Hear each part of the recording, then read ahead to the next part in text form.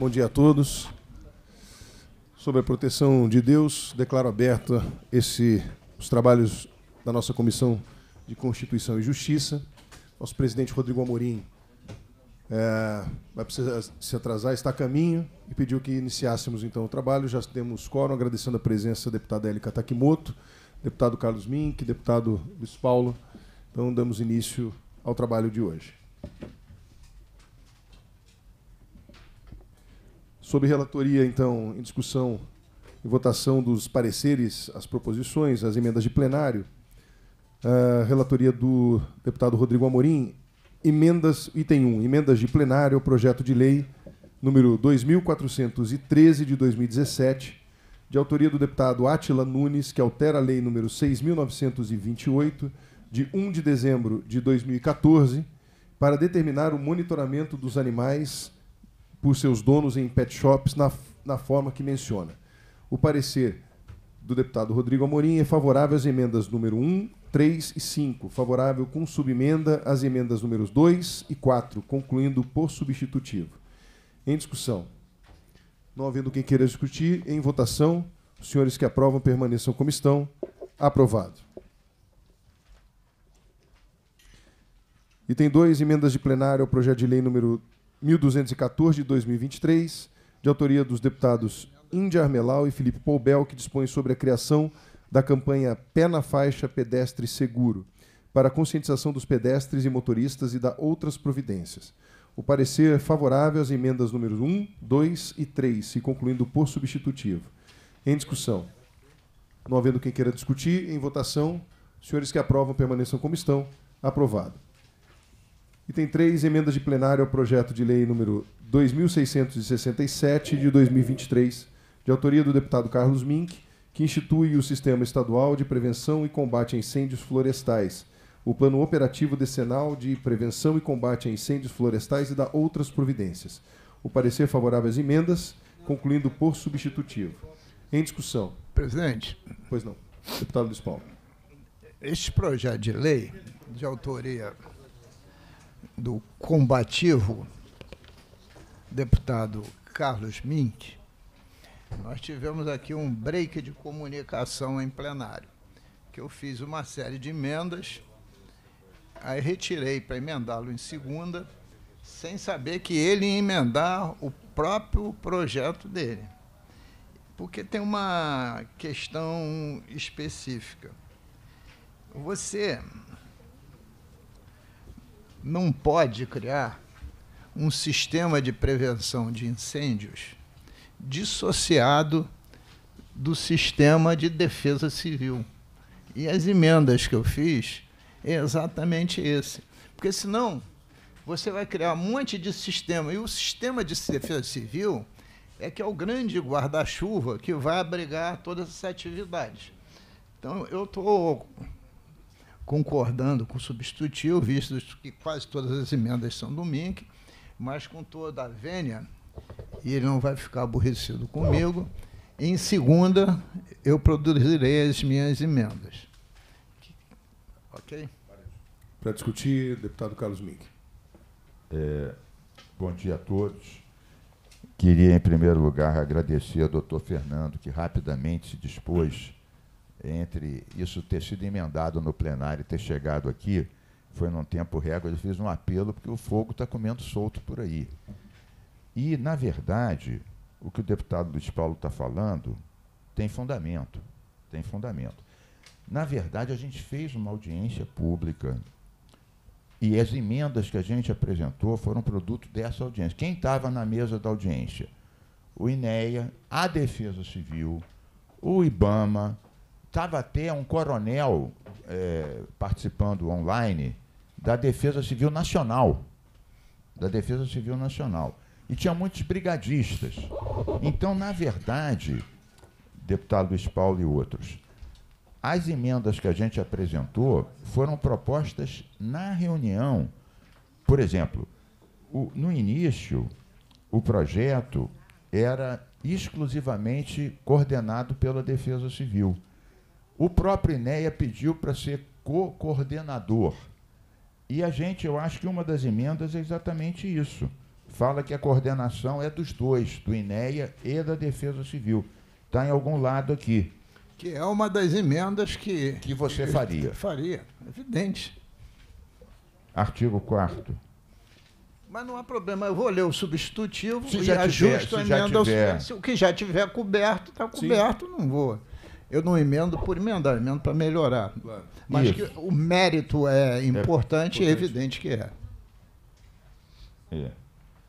É porque isso, e também vou dizer logo o seguinte: se o deputado Luiz Paulo e outros emendarem segunda, não tem nenhum problema. Com essa velocidade que o doutor Amorim está incorporando, eu estou dizendo que ele conseguiu apagar um pouco a minha eco-ansiedade, fazendo um, um paralelo entre apagar o fogo e apagar a minha eco-ansiedade. Eu já, já agradeci a ele. Então é natural que entrando em pauta, as emendas também a gente vai apreciar aqui.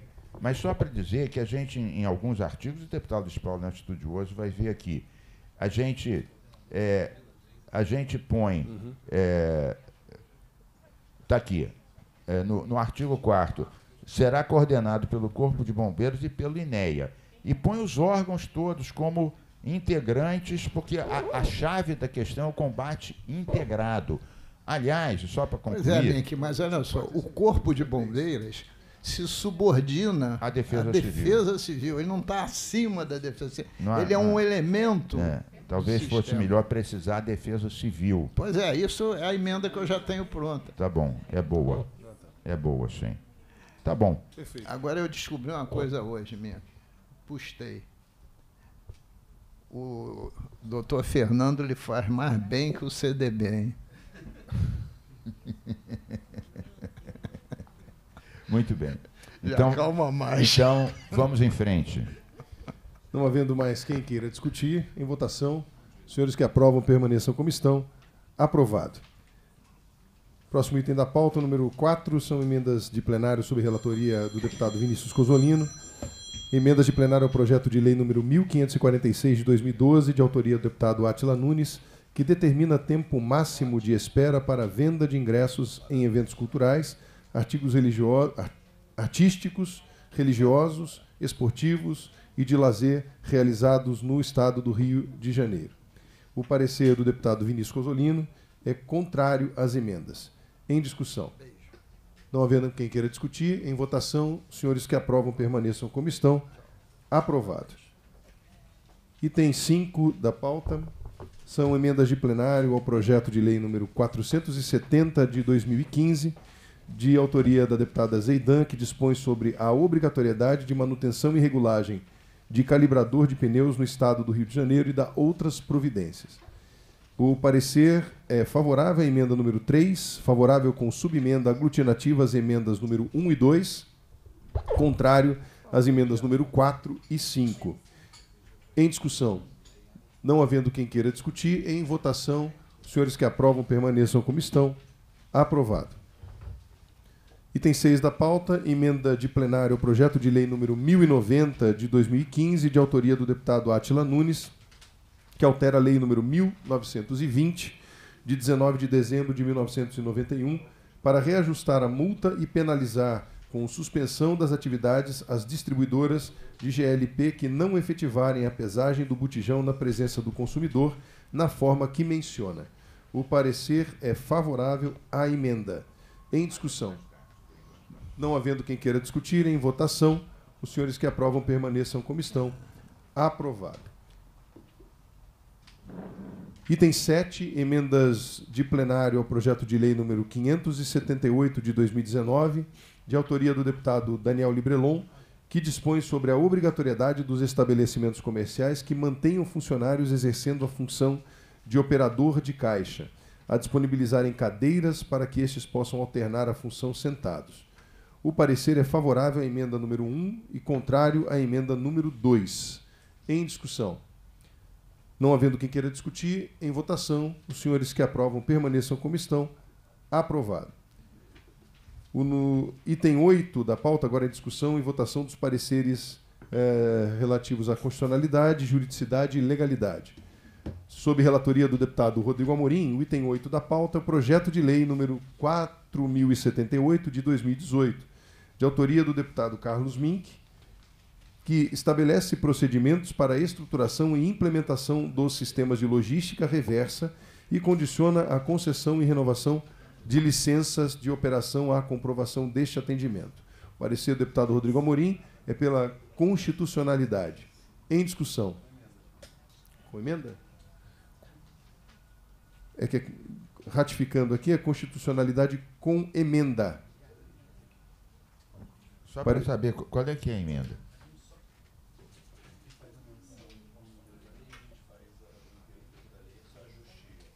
Só um ajuste técnico, é, deputado, que faz uma, fez uma correção para colocar o, o, o, o, inteiro teor da lei. A emenda. Tá bom, tá bom. Perfeito. A lei 12.305, aí faz uma, uma, uma complementação, por isso com emenda. Perfeito. Em discussão, não havendo quem queira discutir, em votação, os senhores que aprovam permaneçam como estão. Aprovado. Pa para a declaração, presidente. Pois não, deputado Ra Carlos Rapidamente, para explicar, talvez as pessoas não saibam. Há muito tempo atrás, nós fizemos uma lei estadual de estabelecimento eh, da logística reversa, que eu acho um nome horrível, que as pessoas acham que logística reversa é uma loja de cabeça para baixo. O que a gente fala atualmente é economia circular, é mais adequado Sim. o nome, que mostra que a gente quer que uh, as embalagens voltem para a produção e assim sucessivamente. E a única coisa na vida que nós não temos é economia circular, né? É. faz todos os desejos possíveis, menos o círculo. É verdade. É verdade. Então, o que acontece? Nós fizemos várias audiências públicas sobre essa lei, né, com a Firjan, com a INEA, etc, etc. Algumas empresas cumprem o que diz a lei, declaram as embalagens que põem, recuperam um percentual, algumas ajudam prefeituras a colocarem PEVs, pontos de entrega voluntária, etc. A maioria não, não cumpre. Então, na verdade, esse projeto é, de certa forma, um cumpra-se da lei. Porque diz o seguinte: olha, quando uma empresa, depois de cinco anos, for renovar sua licença, que ela demonstre que está fazendo aquilo que, que a lei diz. Então, na verdade, é uma forma de. Porque o INEA diz: olha, a gente quer que compre a lei.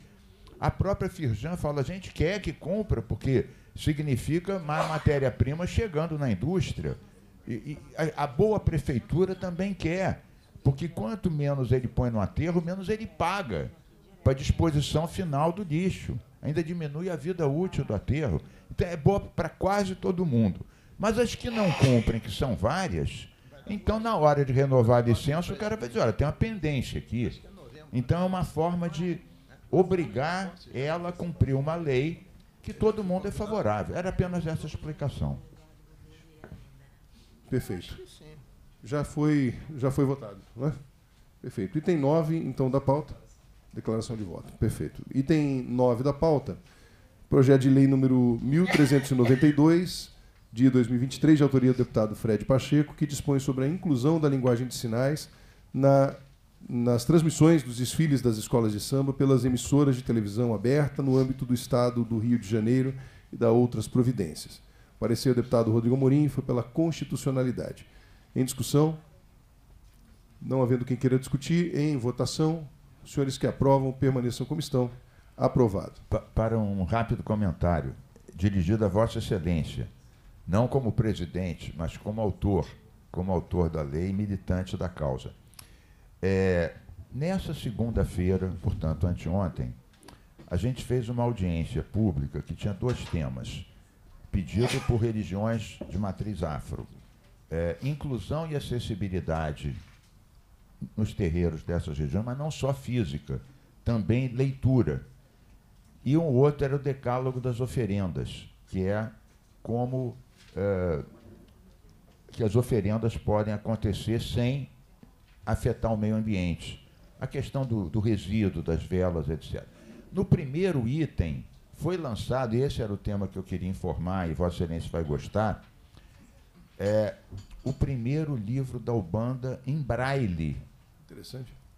E estava lá a representante é, do Instituto Benjamin, Benjamin Constant, Benjamin Constant, que tem 170 anos. É incrível, né? Exatamente. Eu participei do e evento. ela é falou incrível. uma coisa que eu não Em conhecia. homenagem ao grande republicano Benjamin Constant. Benjamin Constant. Exato. Ela falou uma coisa, deputado Fred Pacheco, que eu não sabia e compartilho aqui, que eles fazem a tradução para o Braille gratuitamente, apenas tem uma fila Sim. né, e fazem. E este aqui, eles estavam na maior alegria, porque isso daí é um passo, isso daí vale para todas as religiões, obviamente não é para uma só. Mas como Vossa Excelência é um lutador da, da inclusão, eu queria dar essa informação para todos nós aqui. Anteontem foi lançado oficialmente o primeiro livro da Ubanda em braille, uma coisa desse tamanho. Então já é uma informação boa. Realmente é um trabalho é, incrível que o Instituto Benjamin Constant faz há muitos anos e é referência, talvez, no mundo, no trabalho de inclusão efetiva né, da pessoa cega. E realmente é um trabalho incrível. Incrível. Deputado Luiz Paulo. Queria tirar a dúvida com Vossa Excelência. Eu acho seu projeto formidável. Mas fiquei aqui com uma dúvida. É, a língua de Libras, ela consegue é, traduzir para os nossos ouvintes né, que têm deficiência é, auditiva os termos de outras línguas. Por exemplo, imagine um samba enredo. Sim. Vou puxar a brasa para minha sardinha. Aí o, o samba diz assim: Caô cabecile. Como é que a língua de Libras diz que isso é uma saudação a Xangô? Eu, eu, eu fiquei curioso, né? Porque os sambas enredos, eu estou dando esse exemplo, ele tem sempre é, é, as expressões em, em nagô, em banto, enfim. Eu, É, eu eu- não sei, eu não tenho. Eu também confesso que não sei esse detalhe. Assim, o, que, o que a gente Mas eu acho na ótimo, né? experiência é que existem algumas expressões que são eh, genéricas Uhum. para que atendam esse tipo de, de linguagem, né? para que as pessoas entendam. Deve- e, e claro que a linguagem a Libras ela é brasileira de sinais. Então, de fato, você tem que. muita gente até pensa assim, puxa, mas quando eu estou nos Estados Unidos eu vou falar. ah, ah, existe uma adaptação? Não. É, a Libras é brasileira, né? então ela, ela não se adapta a qualquer lugar. dando- Assim como vai ter algumas. É, algumas eu estou falando desse termo. Agora a invasão que tem de termos, né? de termos em inglês que vão para os sambas, né? é, Cada, inter, internet o que tem mais agora é anglicismo na nossa língua. O que eu já, já vi acontecendo, inclusive, é que algumas expressões eles vão para o literal, fazendo a- a- a- o movimento da palavra inteira para poder para a pessoa conseguir entender o que está acontecendo ali. Porque algumas coisas são expressões. Né? A outra coisa é, puxa, como é que eu vou eh, explicar o que está acontecendo? E aí ele faz literalmente a descrição completa da palavra para que a pessoa consiga fazer a leitura. Né? Acho que ele pode recorrer para isso, mas eu vou pesquisar. Agora eu fiquei Mas curioso também para pesquisar. Eu que- eu queria é, falar rapidamente. Algumas, algumas expressões de religiões, é, das religiões de várias matrizes, mas de matriz africana, já tem um símbolo, um sinal próprio, né, para alguns orixás e tudo.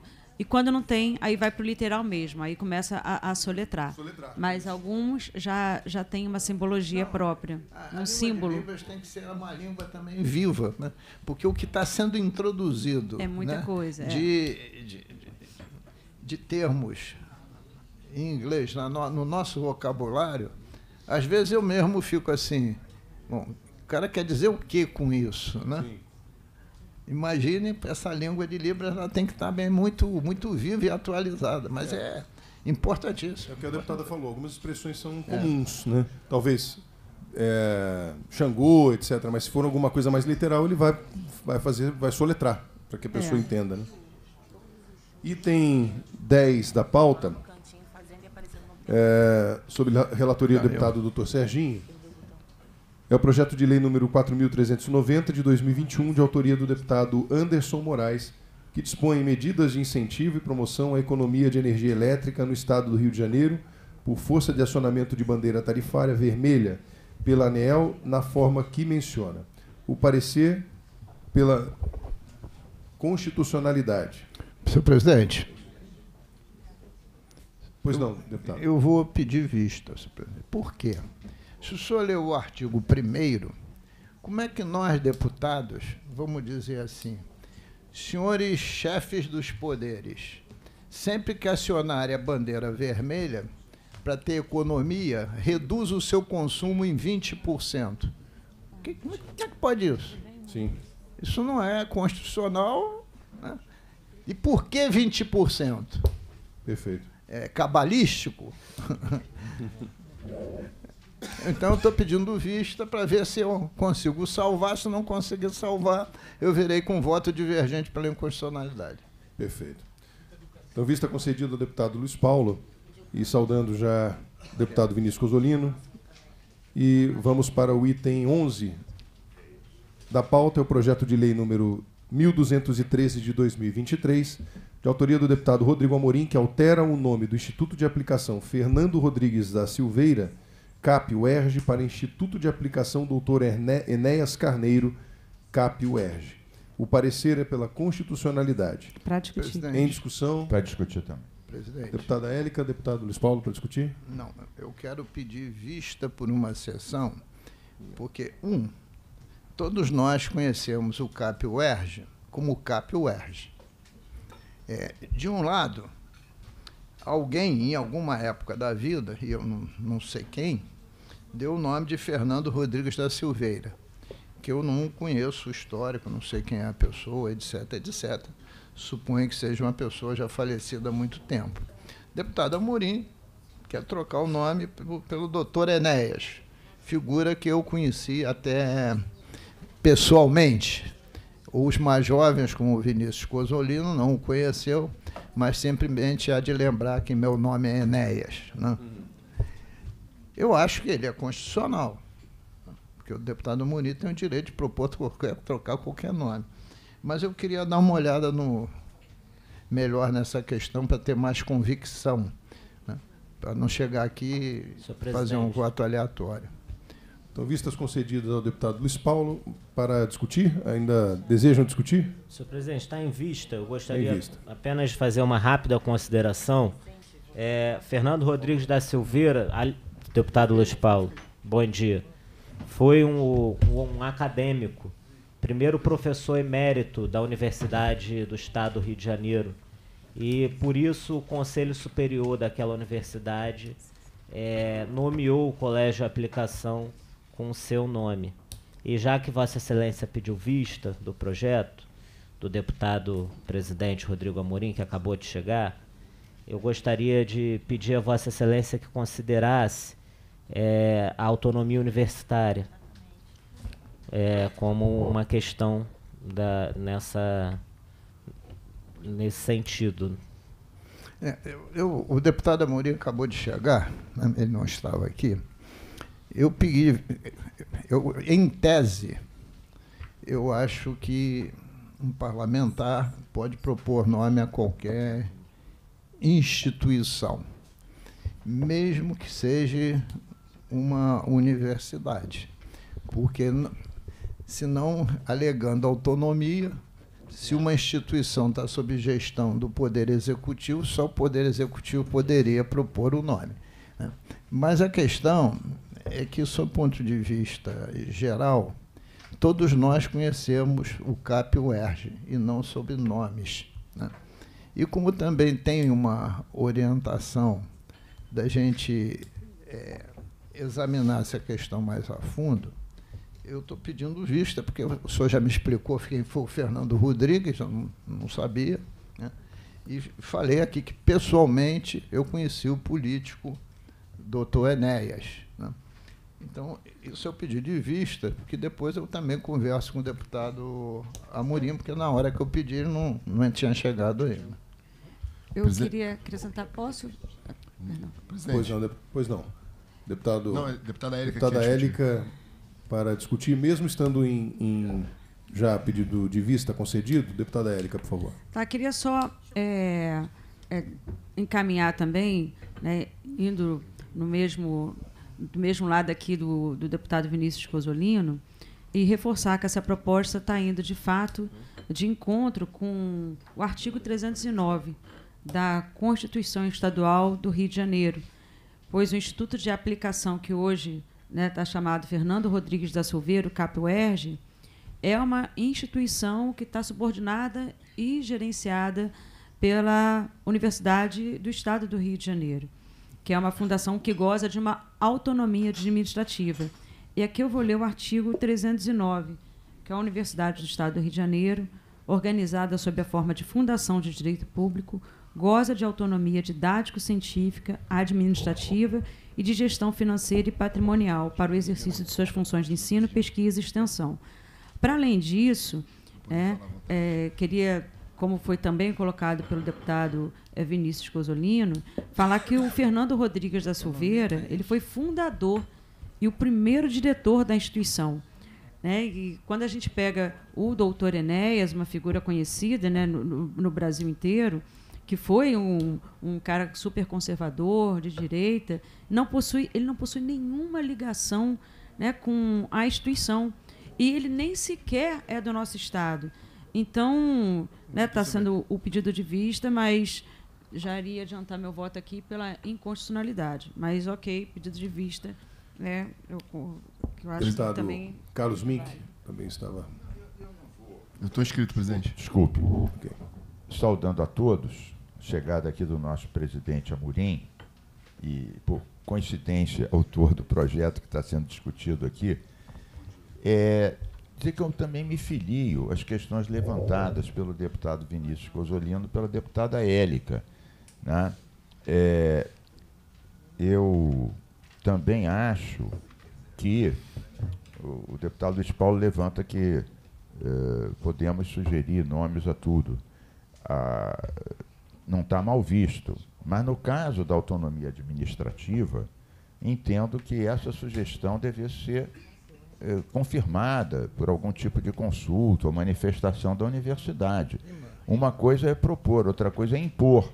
Se você impõe um nome sem ouvir o conselho universitário, eh, você também está sendo está tá ultrapassando a autonomia administrativa.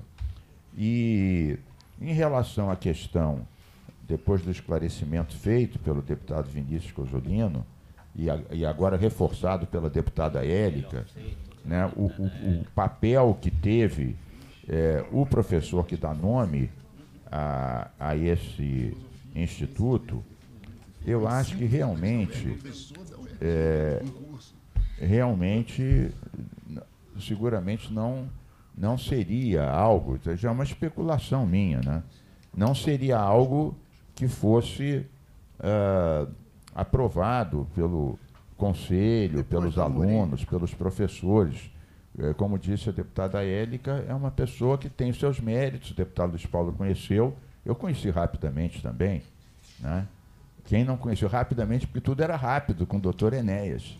Ele tinha um segundo, ele tinha um segundo, tudo era muito rápido.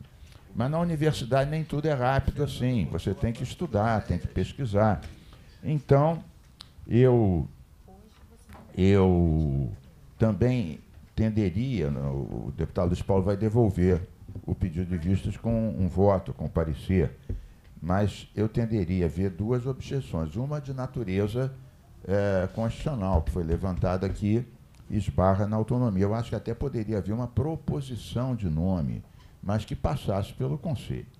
É, e a outra, quanto ao mérito, se bem que essa comissão não julga exatamente o mérito, a gente julga a constitucionalidade.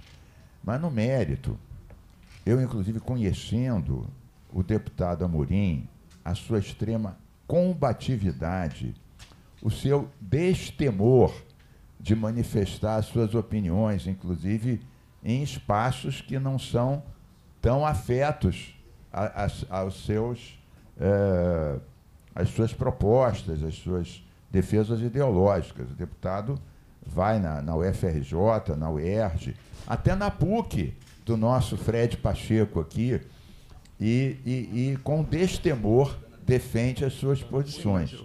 Né?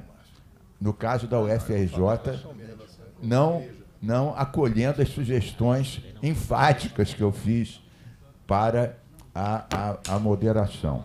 Mas então, não sendo aqui a comissão de, que vai julgar o mérito, eu também me pergunto, e, e depois de mim quem vai falar, o próprio presidente e autor da proposta, que vai naturalmente falar sobre ela, justificar, é, eu vejo que há esse problema de constitucionalidade, é um problema de mérito também. E eu acho que é de bom tom oferecer isso. Imagina se, se alguém fosse, o governador fosse propor um nome ao, ao Salão Nobre da Assembleia Legislativa, né? É, sem ouvir os deputados. Né? Nós íamos achar estranho. Tá bom, ele é governador, pode propor qualquer coisa. Mas será que seria a gente achar bem que o governador propusesse um nome? Bom, o, prime o, o primeiro grupo que ia se opor a isso são os combativos deputados que contestam até secretários de Estado, etc. Então, essa é a minha observação, mas eu estou curioso para ouvir o deputado, presidente e autor da proposta.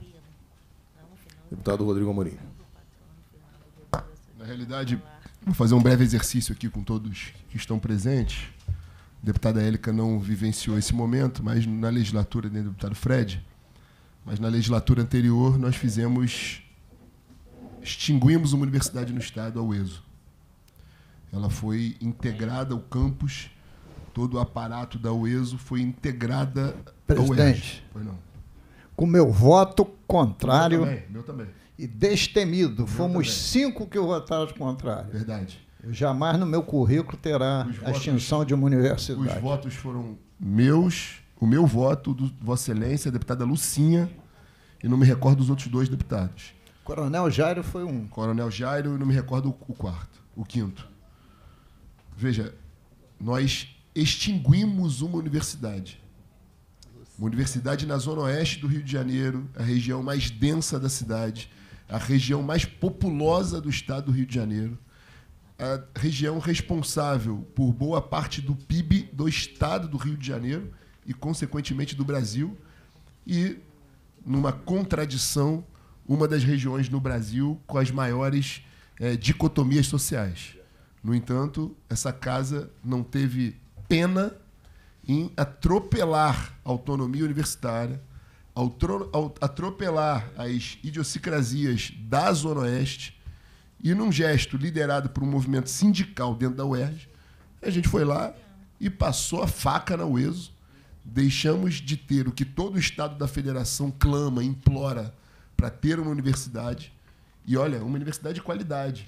A UESO era uma universidade de qualidade, com muitos cursos consagrados, com notas, dois ou três cursos com nota máxima no Exame Nacional de, de Cursos do MEC. E a gente atropelou sem piedade. A gente não, porque assim como o deputado Luiz Paulo, eu não levo para o meu, currículo a extinção de uma universidade, sobretudo uma universidade pública. Com todas as críticas que tenho feito à doutrinação ideológica dentro do ambiente universitário. E agora esse período foi demonstração disso. Os ataques que recebi dentro da UFRJ e dentro da PUC demonstram isso. Mas isso é uma outra cruzada que vou fazer e já anuncio. Vou iniciar uma cruzada para acabar com a pouca vergonha da é, FAPERJ. 600 milhões concedidos de bolsa, com diretores da FAPERJ recebendo um milhão no CPF. Se, se exonerou hoje. Está Pra no te- Para noticiário tentar fugir do nosso alvo. da mas, CPI do, da transparência. mas eu sou bom atirador e sei pegá-lo, mesmo ele exonerado. Uma, uma aberração de gastança de dinheiro público para financiar, muitas vezes, militância.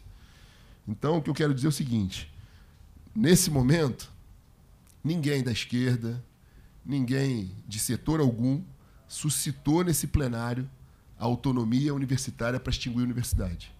Todo mundo defendeu que era prerrogativa do parlamento extinguir ou deixar de extinguir a universidade, fundir, seja lá o que for.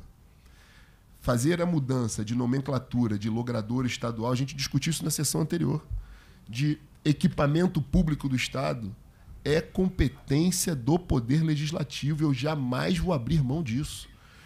Me causa muita espécie, respeito muito o deputado Mink o deputado Luiz Paulo, talvez seja um dos colegas não, que não, mais. não, não, não. Não, não, não. O que eu digo é o seguinte: senhor depois vai me dar uma Vossa parte. Excelência, deputado A Mink. minha tese é de Não, eu escutei, constitucionalidade. eu escutei. Não, não acho Eu só vou antecipar. O Vossa Excelência e o deputado Mink talvez sejam os colegas que eu mais me orgulho de cumprir essa legislatura e que mais respeite a opinião, embora muitas vezes divirja.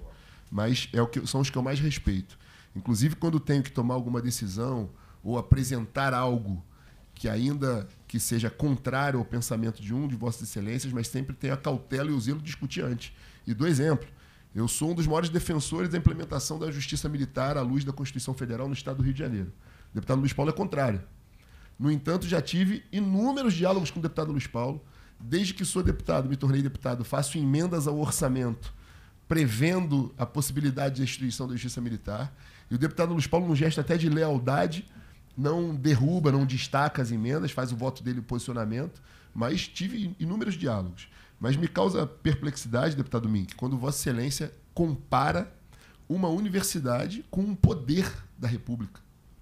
Vossa Excelência fez uma comparação agora, dizendo que o governador do estado não poderia, por decreto, alterar o nome de uma sala na Assembleia Legislativa. Vossa Excelência acaba de comparar uma universidade em prol da autonomia universitária, à luz do 206 da Constituição, com o poder da República. E talvez os descalabros que estejam acontecendo nas universidades sejam por isso. Porque as universidades estão crendo cada vez mais que o que diz o artigo 206 sirva para tudo. Eu escutei na UERJ, por exemplo, que a polícia militar não poderia ingressar no campus da universidade. A gente vive hoje num estado paralelo. A gente tem áreas dominadas por facções criminosas, milícias, narcotráfico, onde de fato o Estado não entra para nada, nem a polícia, nem serviço social, absolutamente nada. O que está acontecendo hoje é que com essa defesa cega e desmedida da tal autonomia universitária, a gente está criando estados paralelos dentro da universidade, onde a polícia não pode entrar, porque tem o argumento de que há autonomia universitária e ali a polícia não entra. Onde já se viu isso? O Estado não poder entrar para prender alguém flagrante, para salvar uma vida, porque a autonomia da universidade não deixa. A Constituição Federal, e aí eu, estou, eu sou até crítico, de certa forma, sou, sou, eu falei 206, 206, mas é o 207 da Constituição é muito clara a Constituição, Constituição da República. Autonomia, a Constituição confere às universidades autonomia didático-científica, administrativa e de gestão financeira e patrimonial. A autonomia universitária consiste nas garantias mínimas para a autogestão de assuntos pertinentes à atuação das universidades no desempenho das atividades de ensino, pesquisa e extensão legítimo. A gente não pode se meter dizendo que a UERJ tem que tirar o curso tal, tem que lecionar tal matéria, tem que demitir o professor A, B ou C. Isso a gente não pode fazer nem o governador. Agora, dizer que o poder instituído da República, o poder legislativo, não pode mudar o nome de um equipamento público, aí é, é afrontar a nossa capacidade legislativa de uma maneira irremediável. Rapidíssima parte. Eu, eu, eu já estou extinguindo, já passo para Vossa Excelência, ainda na qualidade à parte. Tá. Mas, é, é, é, resumindo, eu admito até aqueles que se oponham sob ponto de vista de mérito, queiram preservar o nome do CAPES, mas também não é algo aleatório. Eu tenho projetos de lei aqui que têm um escopo ideológico, sim, mas eu jamais apresentei um projeto de lei meramente para lacrar, para afrontar ideologicamente. Quando proponho o nome do professor Enéas Carneiro, permite aqui ligar, ele, além de ser um docente da UERJ, formado na UERJ, é médico, cardiologista, inventou, descobriu técnicas de cirurgia dentro da UERJ. Ele não só se formou em medicina como médico cardiologista, mas na UERJ se formou em matemática, se formou em licenciatura de física, se formou em letras e criou um, no, um novo curso pré-universitário que é antes da existência do CAPES, é o, que, é o primórdio do CAPES. Então não é algo aleatório, porque o doutor Enéas Carneiro era um político de direita.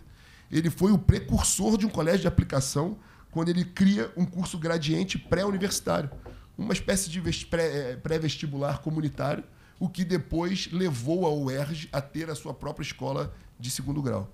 Então, tem todo um contexto de um personagem da UERJ. Então, por conta disso, a propositura. Óbvio que eu não sou inocente, que evidentemente se fosse o Paulo Freire com os mesmos predicados, eu não apresentaria. Porque é um, é um, é um, é um indivíduo notadamente de ideologia contrária a mim, a minha. Mas a propositura do projeto não é só provocação, não é só lacração de direita, mas tem todo um contexto no, no entorno da UERJ que deve ser discutida no mérito. e admito, inclusive, perder a discussão, ser emendado, mas dizer que um deputado não tem capacidade de mudar um, o nome de um equipamento público, se a gente quiser mudar o nome do Palácio Guanabara, a gente tem direito disso. Então, é, é só essa justificativa para que aqui na, na CCJ a gente continue respeitando as competências nossas, a Constituição do Estado e a Constituição Federal. Vou passar para Vossa Excelência o a parte. É, é rapidíssimo, é a parte mesmo, até porque eu já me pronunciei antes. Dizer, deputado Amorim, que eu, eu concordo que a, que a comparação que eu fiz não é adequada quando eu falei o governador mudar o nome do plenário. Na verdade, o que eu quis dizer era mais o lado da consulta, quer dizer, era mais sem ouvir os deputados do que o governador, claro que ele tem, como chefe de um poder, ele tem a prerrogativa de fazer isso. E o parlamento, entendo eu, que também tem a prerrogativa até de, através de um PDL, derrubar, por exemplo. Perfeito. Mas a, a comparação que eu quis fazer, e Vossa Excelência tem razão quando aponta que a comparação não é perfeita, realmente não é, era quanto ao fato da consulta, Entendi. de ser uma coisa ofensiva, Entendi. porque é, a comparação é uma comunidade que, que chega a um nome para o qual ela não foi consultada. Era mais por esse lado. Entendi. Eu Ficou claro para mim. Ficou claro. Eu fiz uma comparação, Vossa Excelência tem razão, não era adequada a comparação. Ficou claro, adequada, ficou claro. Mas era em relação à questão de você ser ou não consultado com, com o nome da sua casa. Era ficou por esse claro, lado. Ficou claro, ficou tá claro. bom. Bom, eu tinha pedido também para me pronunciar. Primeiro deputado Amorim, eu pedi vista não claro. pela questão da constitucionalidade, que eu advogo a sua tese. Nós podemos trocar qualquer nome. Não é isso. É que. O telefone aqui. Já está sedimentado na história da CAP-UERJ o nome do Fernando Rodrigues da Silva. Eu acabei de receber aqui o hino da, do CAP-UERJ, que termina assim: Salve o colégio de aplicação, honrando a cultura brasileira, real verdadeira. Salve o patrono Fernando Rodrigues da Silveira. A gente teria que mexer, inclusive, no hino da escola. É, pode então, quando, sendo patrono. Mas... Quando, sim, mas quando eu, tô brincando, tô brincando. quando eu tirei de pauta, era para conversar. Amorim vai, vai era para conver... um projeto para conver... o hino. Para conversar da oportunidade. E eu acho, cá entre nós, Perfeito. que o doutor Enéas, como um político de direita, ele teve uma importante atuação nesse país, porque sempre foi de um partido pequeno, se candidatava a presidente da República com tempo de televisão, mínimo, que só tinha o tempo de dizer meu nome é Enéas. e mesmo assim tinha, um voto, tinha votações é. consideráveis. Tinha um caminhão de votos. Não sabia que ele era formado pelo Oeste, mas sabia que era médico cardiologista porque uma vez voltava eu de Brasília e voltei do lado dele. Conversei com ele a viagem inteirinha. Né? E até uma pessoa muito ilustrada, do ponto de vista temático. Se me permite, uma parte é. em medicina ele não se formou na UERJ, ele foi docente dos docente, cursos de tá. graduação tá. e pós-graduação e se formou a, nessas outras quatro A minha questão que eu ia levantar consigo né, era exatamente da oportunidade dessa troca. Mas está pedido visto, a gente conversa posterior e eu devolvo. E agradeço a vista e, o, e, o, e o, a parte de Vossa Excelência. E aí queria fazer uma questão de ordem a Vossa Excelência. É, eu dei entrada ontem, a Vossa Excelência, presidente em exercício, é. presidente institucional. Eu dei entrada aqui na CCJ no dia de ontem de um, uma solicitação para que a gente pudesse deliberar um pedido de auditoria numa proposta do Instituto de Arquitetura e Engenharia, que vai fazer uma audiência pública de um edital de licitação para contratar o BIM, que é uma metodologia de projeto em três dimensões, e o acompanhamento de obras em todas as instituições do Estado e nos 92 municípios de 762 milhões de reais. eu queria lembrar, está aqui na minha mão, o orçamento do Instituto de Estadual de Engenharia e Arquitetura para 2025, esse contrato de 610 é para 12 meses. Ele é de 22 milhões, o orçamento todo do Instituto. Se você tirar a despesa de pessoal, que é 21 milhões, o Instituto só tem 400 milhões de reais para tudo, tirando o pessoal, que é fazer um contrato de 762 milhões. E nesse item de projeto, ele só dispõe 13% desse valor, num orçamento de 2025 que tem um rombo de 14,6%. E mais grave ainda, em 2022, o Instituto fez esse contrato, chamava-se 4 hélices. Fez esse contrato com a PUC, de 92 milhões. Eu aprovei uma auditoria na comissão de tributação, foi para o tribunal que, além de, de encontrar diversas irregularidades, né, sustou o contrato no, no meio do andamento. Né. Ora, se você contratou uma modelagem e pagou 92 milhões, essa modelagem vai ser aproveitada, a gente vai pagar duas vezes, isso precisa ser auditado. Então, eu tenho o detalhamento é, desse pedido de auditoria e estou fazendo a questão de ordem se dá para submeter a votação com um pedido de auditoria da CCJ. Presidente, me permite? Pois não, deputado Rodrigo Amorim. De fato, ontem conversei com o deputado Luiz Paulo e a menção que queria fazer é que nós, nesse vigor que nós temos dado, e aí não é mérito meu, é mérito de todo o colegiado, nós estamos dando a força que a CCJ de fato tem em toda a Casa Legislativa, sobretudo amparado aqui no nosso regimento. A CCJ, que popularmente é tida aí como a mãe das comissões, ela tem a capacidade, como todo colegiado da Assembleia Legislativa, de, uma vez deliberado, fazer encaminhamentos para qualquer órgão que seja, principalmente o Tribunal de Contas do Estado, que é um órgão do Poder Legislativo. Então, nós já inauguramos, momentos anteriores, é, uma deliberação da CCJ, justamente numa discussão de um projeto de lei que trouxe a discussão de algo que estava acontecendo, que era um desvio de finalidade de um determinado órgão, gastando milhões e milhões de reais para cumprir uma missão que não era sua. E, obviamente, que aquilo tinha um contexto e um contorno eleitoral, prejudicando muitas bases, muitos municípios de deputados aqui na casa e comprometendo consideravelmente o patrimônio do Estado, porque é, o orçamento que foi desenhado não era para aquilo. Então, nós deliberamos e, por unanimidade, fizemos uma provocação ao Tribunal de Contas e que surtiu efeito, foi recebido, processado. Então, da mesma forma, o que o deputado destaca, o deputado Luiz Paulo destacou comigo ontem e apresenta é, é grave, de fato. Deputado Luiz Paulo agora, deputado Mink, dentre todas as suas facetas, ele agora é youtuber. E ontem eu o peguei em flagrante, produzindo num cenário todo montado, uma produção. No meio dois, da rua. No meio da rua. Inacreditável. Com equipamentos de última tecnologia e Cada tal. dia Telefone celular. Maquiador, iluminação. Ele produzindo mais uma das suas obras. Multimídia. Multimídia.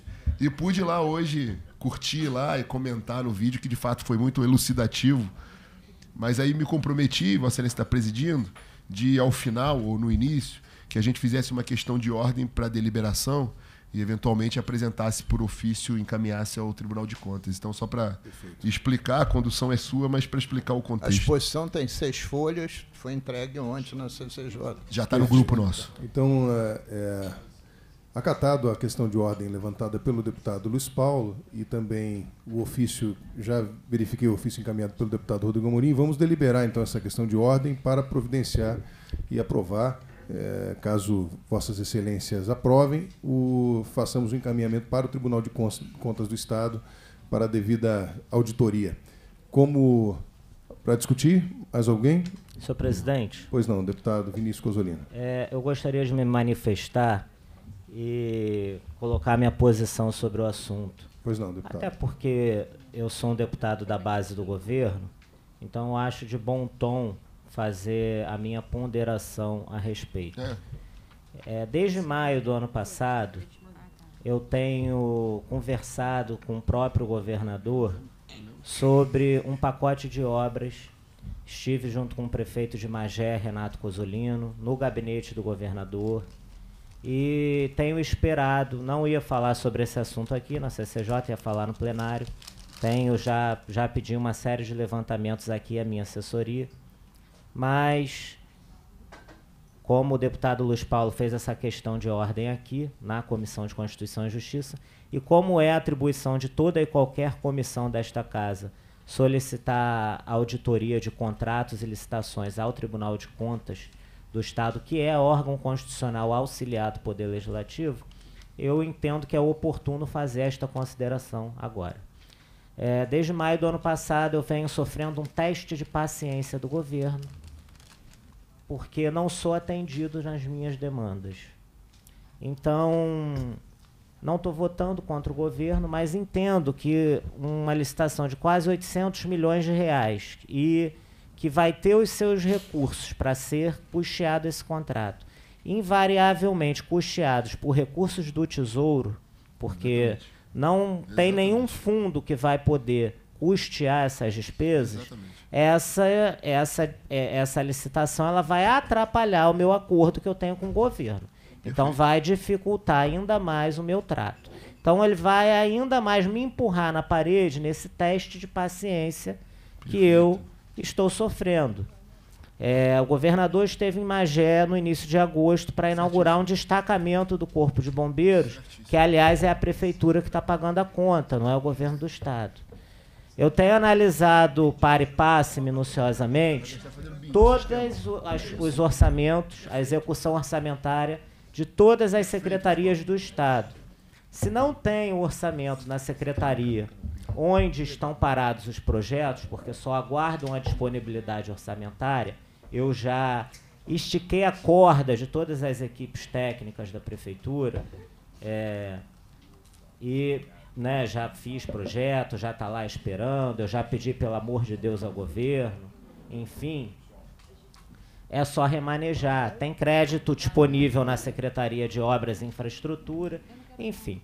Eu estou justificando aqui, sem querer tomar o tempo dos colegas, o porquê eu vou assinar.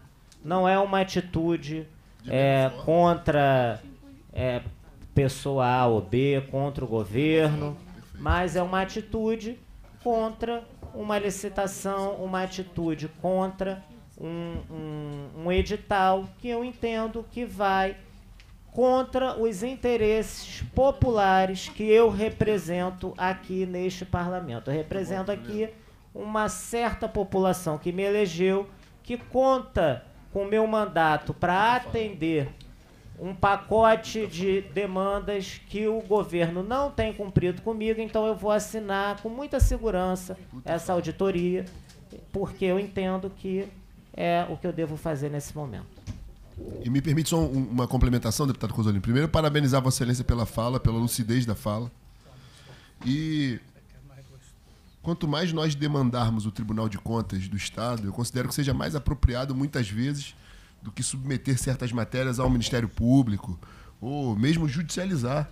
O Tribunal de Contas do Estado é um órgão especializado, acessório do Poder Legislativo e que tem o condão de verificar esse tipo de questão, de questionamento.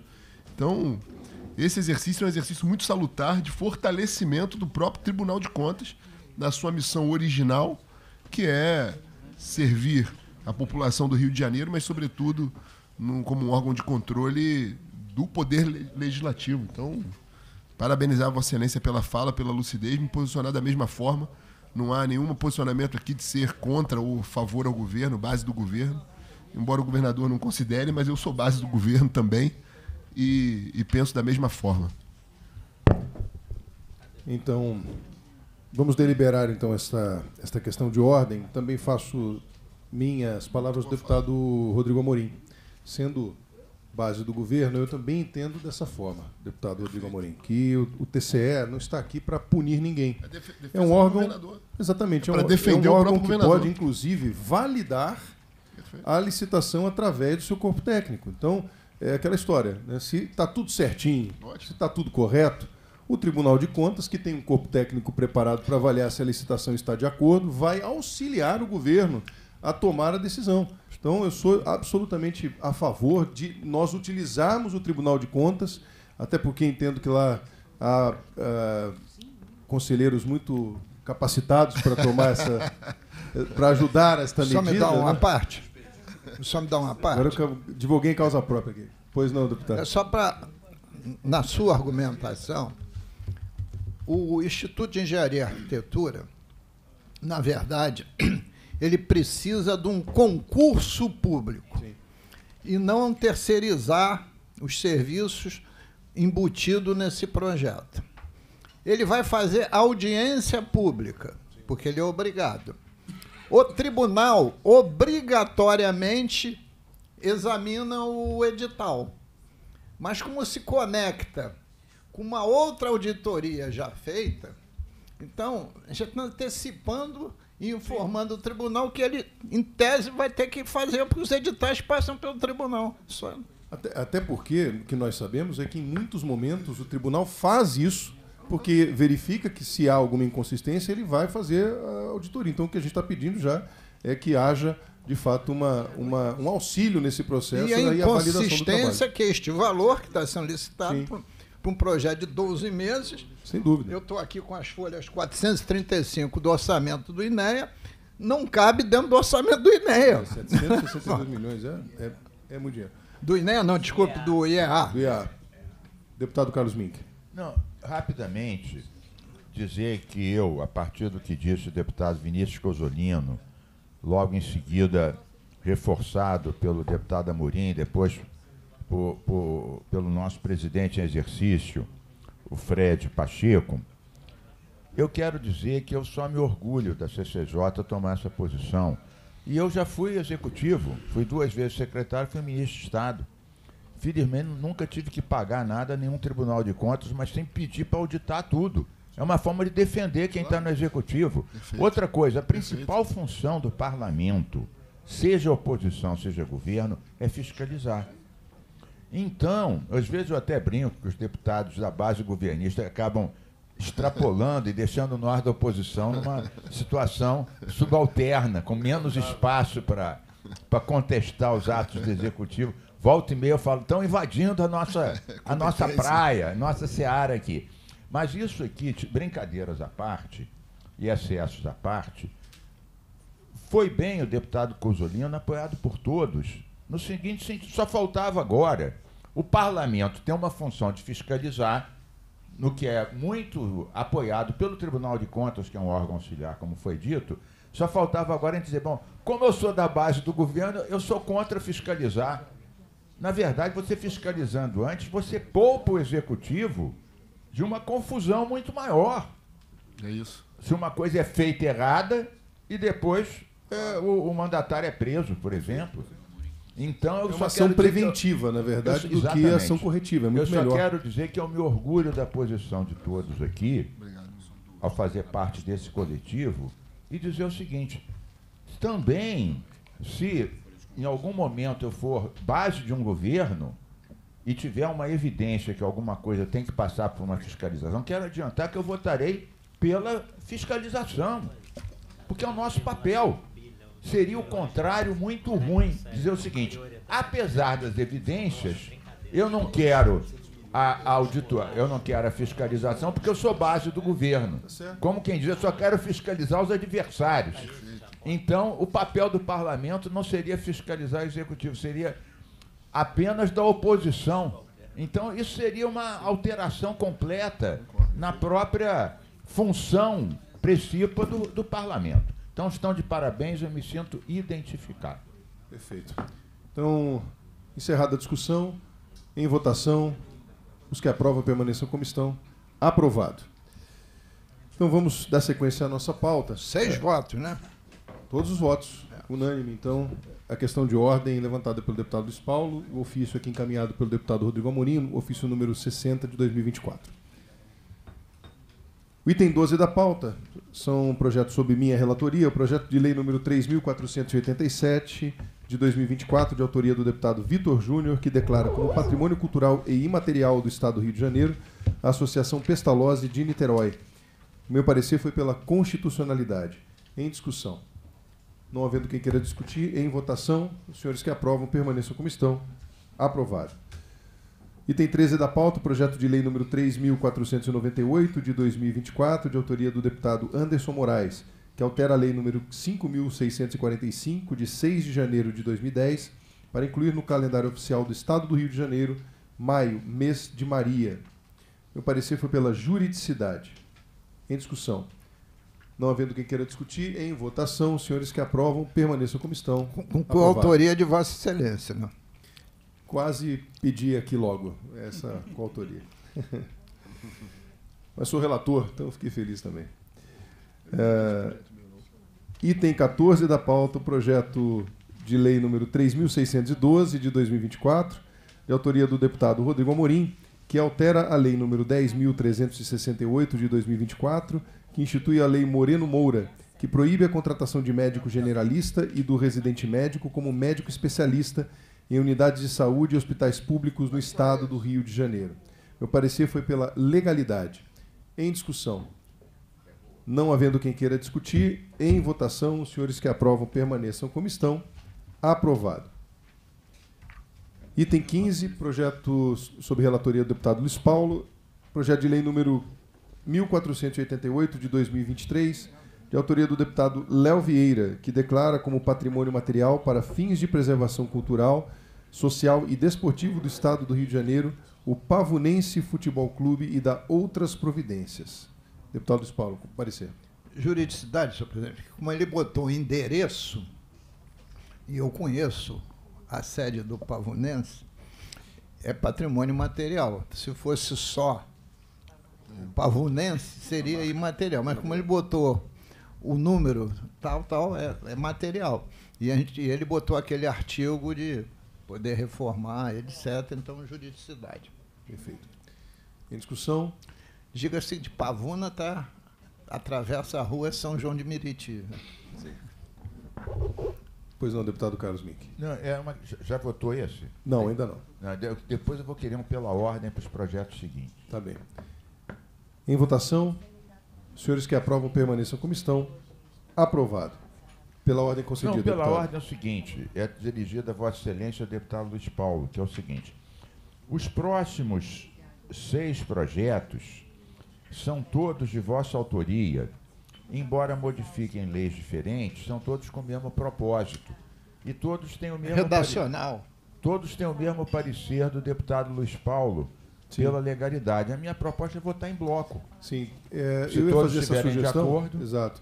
Vamos votar em bloco e só explicando. Nós fizemos um trabalho na Comissão da Pessoa com Deficiência, a qual tenho a honra de presidir, de levantar todos os projetos mais antigos para corrigir questões de nomenclatura, atualizações de, de, expressões, que isso também é importante para que nós tenhamos a, a, Então, por isso, agora podemos votar em bloco, é, colocando aqui para os demais deputados. Votando em bloco, então, do 16 ao. 16 ao 20. Como votam os senhores deputados? Os senhores que aprovam permaneçam como estão. Aprovado. Então, votando em bloco do 16 ao 20. Passou eles bloco já? Não, não. Todos eles pela legalidade. Item 21 da pauta. 21 retirado de pauta, o item 21. Item o item 22 também tá. Já vou antecipando aqui. Uh... O Anderson tirou de pauta, né? Hã? Ele tirou de pauta. O, o 21, sim. Ele ficou em dúvida se o cocado era branco ou preto. Aí ele resolveu tirar de pauta. Muito bom. O item 22, então, o projeto de lei número 3.944, de 2024, de autoria do deputado Fred Pacheco, que altera a lei número 8.130, de 17 de outubro de 2018, que institui o Dia Estadual do Portador da Síndrome Mielomeningocele e Hidrocefalia e dá outras providências. Parecer. De quem é parecer? Deixa eu ver. Guilherme Delaroli é pela legalidade. Em discussão, não havendo quem queira discutir, em votação, senhores que aprovam permaneçam como estão. Aprovado. Item 23 da pauta. São projetos de relatoria da deputada Élica Takimoto, projeto de lei número 3.976 de 2024, de autoria da deputada Marina, do MST, que institui a Semana do Alimento Agroecológico e Orgânico no âmbito do Estado do Rio de Janeiro. Para aparecer, deputada Élica Takimoto. Parecer pela juridicidade com emendas. Em discussão, não havendo quem queira discutir, em votação, senhores que aprovam permaneçam como estão. Aprovado. Agora a discussão e votação dos pareceres é, pela constitucionalidade com emendas, juridicidade com emendas e legalidade com emendas. Relatoria do deputado Rodrigo Amorim, item 24 da pauta, projeto de lei número 1206 de 2023, de autoria do deputado Gustavo Tutuca, que cria o selo de turismo sustentável no estado do Rio de Janeiro. Parecer, deputado Rodrigo Amorim? É o, qual é o da pauta, presidente? É o 24. Parecer é pela constitucionalidade com emenda. Em discussão? Não havendo quem queira discutir, em votação, senhores que aprovam permaneçam como estão. Aprovado. Projeto item 25 da pauta, projeto de lei número 3.158 de 2024, de autoria do deputado Vinícius Cosolino, que dispõe sobre o armazenamento e a conservação de medicamentos nos estabelecimentos farmacêuticos e institui campanha de conscientização aos consumidores. parecer o deputado Rodrigo Amorim. Constitucionalidade com emenda, presidente. Em discussão, não havendo quem queira discutir, em votação, os senhores que aprovam permaneçam como estão. Aprovados. Senhor presidente. Deputado Vinícius Cosolino. Esse projeto foi começou essa ideia por uma sugestão da minha avó, que é idosa, tem 86 anos de idade, me procurou e falou: "Meu neto, eu tenho notado que os comprimidos não têm mais a mesma consistência. Eles chegam mole e eu acho que isso é devido ao calor. Tem feito muito calor e os comprimidos não estão mais. Eu vejo que os remédios não estão tão eficazes. E lógico que eu não parei por aí. Eu fui procurar opinião de profissionais. Não poderia apresentar um projeto de lei simplesmente por uma opinião familiar, né? E conversei com farmacêuticos, procurei, é, é, procurei representações profissionais, procurei a, a, responsável pelo setor de farmácia da prefeitura lá de Magé, que é uma pessoa com quem eu tenho contato, e me disseram que realmente, ultimamente, com esse calor que tem feito no Rio de Janeiro, tem sido muito comum a perda de remédio e isso eu tentei fazer esse projeto para conscientizar as farmácias e as pessoas. Por exemplo, muita gente guarda remédio embaixo da pia do banheiro. Então é um lugar que tem umidade. Muita gente guarda remédio debaixo do forno da pia. Muita gente guarda remédio perto de onde tem umidade ou calor. E isso acaba não garantindo a segurança no armazenamento da medicação. É algo simples, mas que com uma informação pode garantir um tratamento mais eficaz da doença. Foi esse o intuito na apresentação. O senhor me dá um, uma parte? Com certeza, para Vossa Excelência, sempre, porque nós temos certeza do aprendizado. Bom, é que possivelmente eu tenho a idade da sua avó. Não, o senhor é mais novo, um pouco. E guardo, e guardo meus medicamentos no armário debaixo da pia do banheiro, como disse o senhor. E tem momentos, e às vezes remédios que não são baratos, para fazer o controle da pressão arterial, que eles ficam melados. Tá vendo? Gruda na mão. E às vezes ficam esfarinhentos. Então, Vossa Excelência tem absoluta razão. E você perde aquele comprimido, né? Porque, porque, também, curiosamente, não acontece o mesmo com todos, acontece só com alguns. Né? Mas eu estou só pedindo a parte para dizer que Vossa Excelência tem toda a razão. É. Toda a razão. É isso, presidente. Obrigado. Sou testemunho.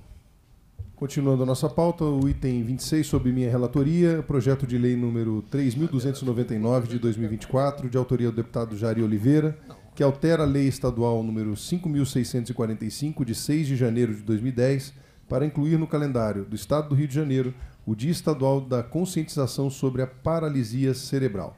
Meu parecer é pela juridicidade com emenda. Para discutir.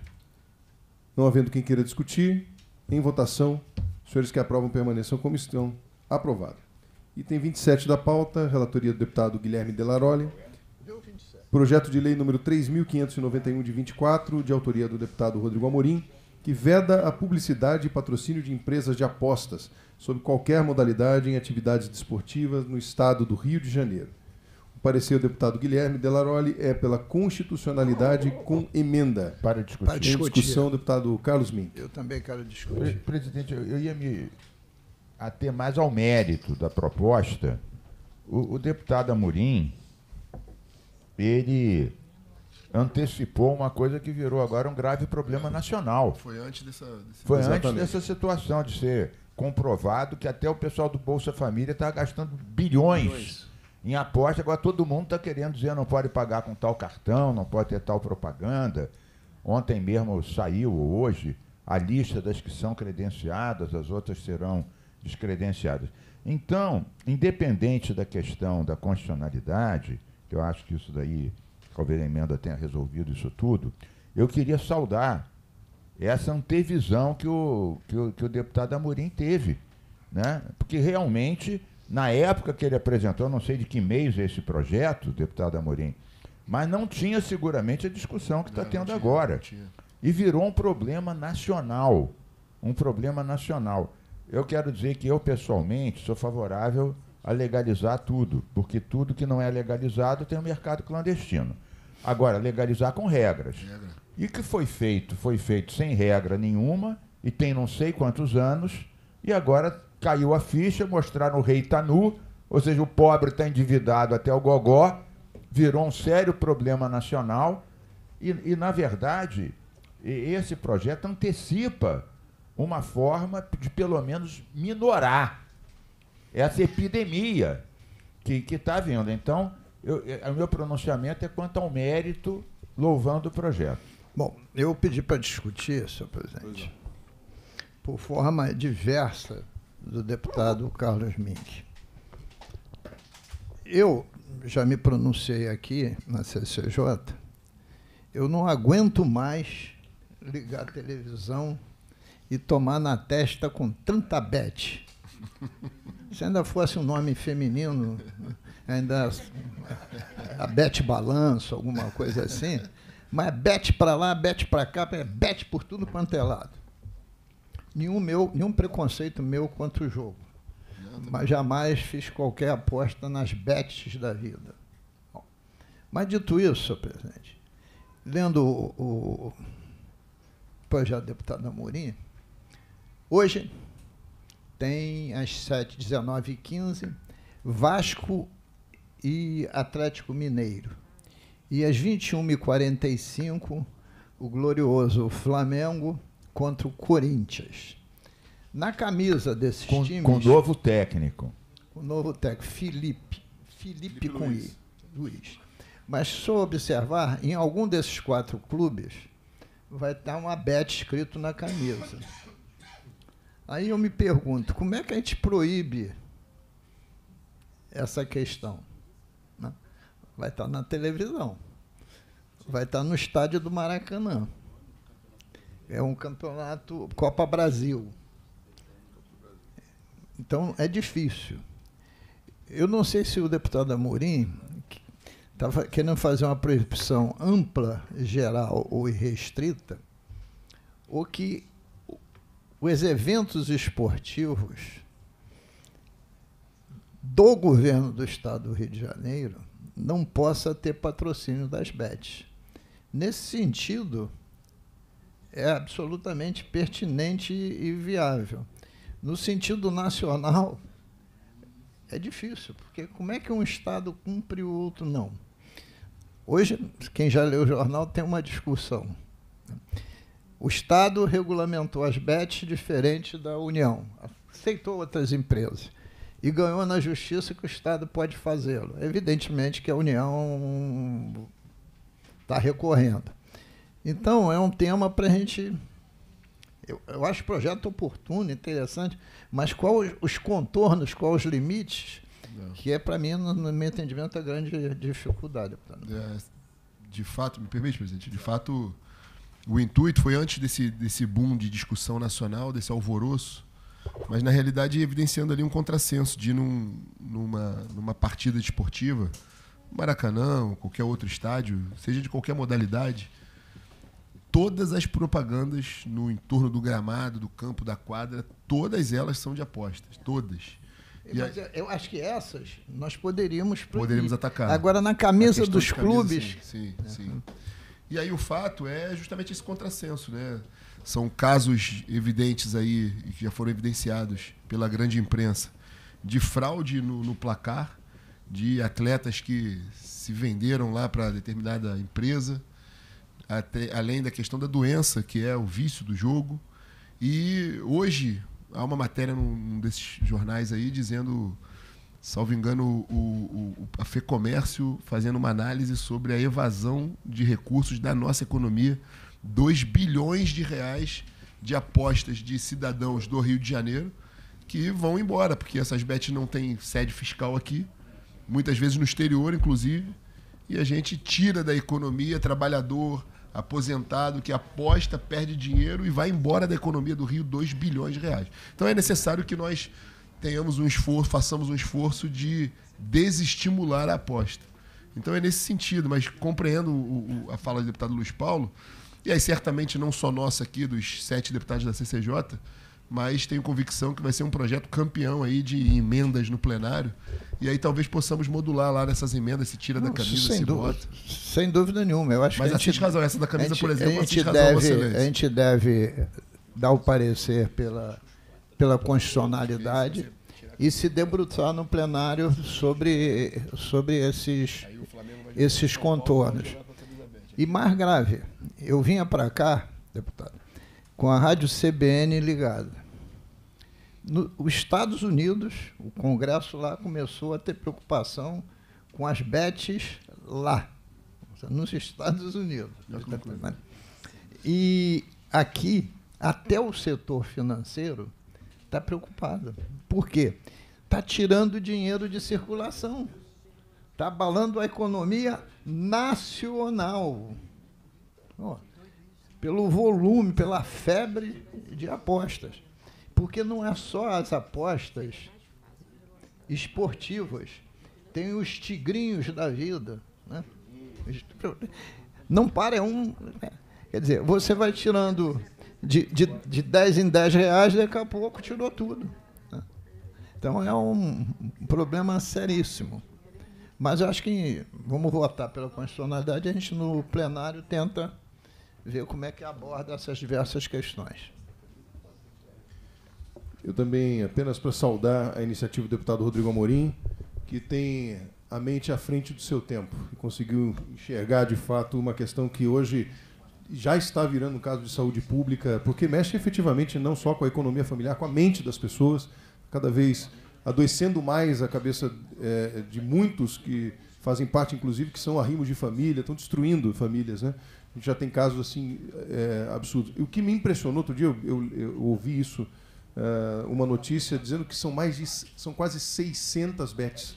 Não, como é que pode ter tantas assim? 600 empresas que hoje estão instaladas no Brasil, quer dizer, fazendo negociatas no Brasil. É, eu não sei que tipo de regularização é essa que permite que a pessoa hoje. Vamos fazer uma bet aqui. Vamos estar. Não é, é um negócio surreal e que de fato tem sido é, perigoso e precisa ter uma atenção Isso especial. aconteceu, presidente, porque se deu um prazo. Fred Pacheco. Se deu um prazo muito eu grande. aprendi muito cedo na teoria dos jogos, é uma teoria dos jogos, que a banca sempre, sempre ganha. É isso. Teoria dos jogos. Teoria dos jogos. Então, qualquer um que tem a banca ganha. vai tomar dinheiro dos outros. Sim. Não tem jeito. Deputado, falou. Não, tinha, eu tinha falado aqui de lavagem de dinheiro. Lavagem de dinheiro. Mundo fora de lavagem de dinheiro. É, é, um assunto que precisa, de fato, de uma atenção especial, inclusive, uh, de toda, toda a força de legislação do Brasil. O item 28 foi retirado da pauta, seguindo a nossa pauta de hoje. O item 29, o projeto de lei número 3.821 de 2024, do, de autoria do deputado Renan Jordi, que declara como patrimônio histórico, cultural, turístico, gastronômico e imaterial do Estado do Rio de Janeiro o restaurante Boteco Confraria. Uh, o parecer do deputado Guilherme Delaroli é pela constitucionalidade com emenda. Em discussão. Não havendo quem queira discutir, em votação, os senhores que aprovam permaneçam como estão. Aprovado. Deputado Luiz Paulo? Só registrando meu voto favorável a esse lado humano e popular do deputado Jordi, frequentador de botecos. Eu parabenizo. Eu acho que é lá que ele acaba é, se, acalmando. se, acalmando. né? É o boteco da confraria. Ficando ali em fraternidade, aí acho que. Nada, um, um boteco de vez em quando é bom, né? Aliás, na última reunião, haviam projetos do deputado Jordi que foi proposto, um, até sobre uma praia lá, foi proposto um mergulho conjunto dele com a deputada Verônica lá. Ele adentrou na reunião, por coincidência, naquele é horário. Ele assiste, ele está assistindo agora. Ele está assistindo. Uma saudação, e, e, e se comprometeu ao, ao mergulho. Então, se ele estiver assistindo agora, vai também aqui a sugestão de um chopp de é. conciliação nesse boteco da confraria. Não, mas o chopp eu faço questão de estar presente. Ah, bem, me convida. É, é, item 20, é, 30 da pauta, sob relatoria da deputada Élica Takimoto, projeto de lei número 3016 de 2020, de autoria do deputado Daniel Librelon, que institui a política estadual de proteção, inclusão e acompanhamento educacional dos alunos com epilepsia e da outras providências. Para aparecer, deputada Élica Takimoto. Pela constitucionalidade com emendas. Em discussão? Não havendo quem queira discutir, em votação, os senhores que aprovam permaneçam como estão. Aprovado.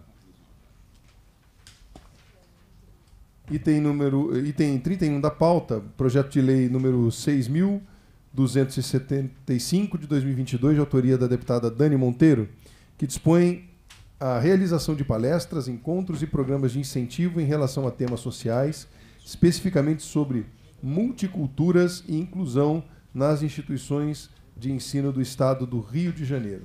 Parecer, deputada Élica Takimoto. Constitucionalidade com emendas, presidente. Em discussão? Não havendo quem queira discutir, em votação, os senhores que aprovam permaneçam como estão. Aprovado.